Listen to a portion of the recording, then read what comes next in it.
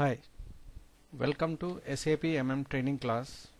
Today we will see country version India, CIN. Under this, under this we are going to see overview of excise duty, configuration of tax on sales and purchases. Under this we are going to see basic settings, calculations, posting, in this lot of settings are there I'm going to explain you later. And also country specific taxes on tax and goods movements. This configuration contains basic settings master data account determination business transaction settings and tools. But before going to uh, learn about the settings in this we are going to learn about our taxation system, Indian taxation system. The taxes in India are levied by central government and state governments. Some minor taxes are also levied by the local authorities such as municipalities. The authority to levy a tax is derived from the Constitution of India which allocates the power to levy various taxes between the central and the state.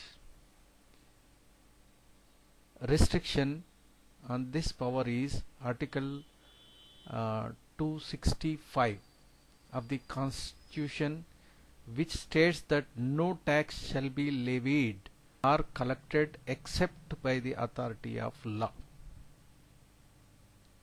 Therefore, each tax levied or collected has to be backed by an accompanying law passed either by the parliament or the state legislature.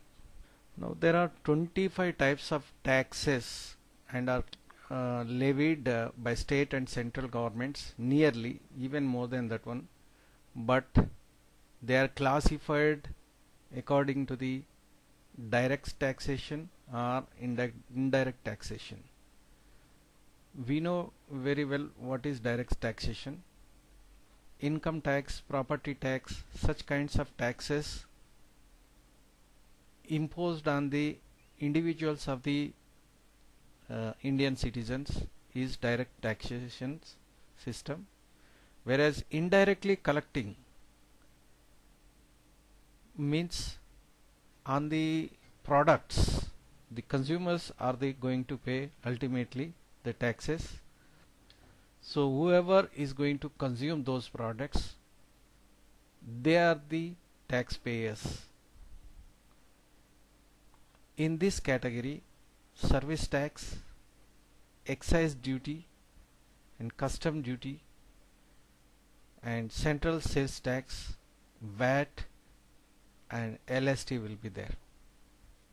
The excise duty is called as central VAT. That's why shortly we will call it as CENVAT.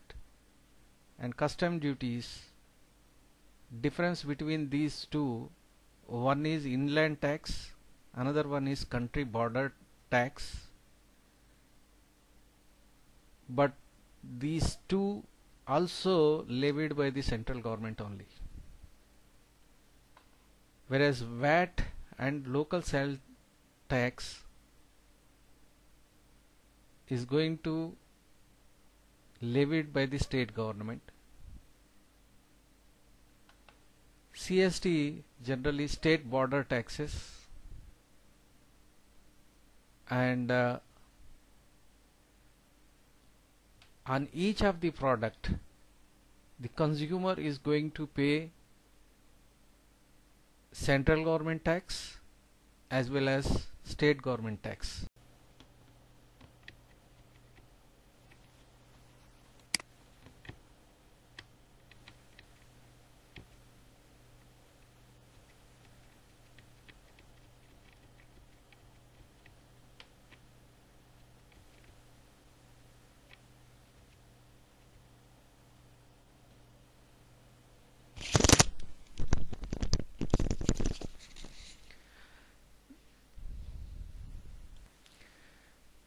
The current uh, taxation system is more uh, complex and uh, multiplicity of taxation nature and cascading effect of uh, taxes as uh, I have discussed earlier.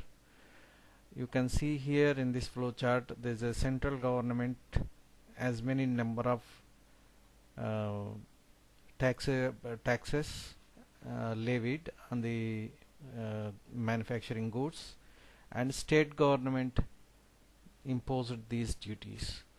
If you have seen in the uh, our uh, tax conditions in SAP like BED is there on that one again there will be AED taxes will be imposed on BED means additional taxes there is some special taxes and education cess education cess and higher education cess these are going to be collected on the um, on the BED basis.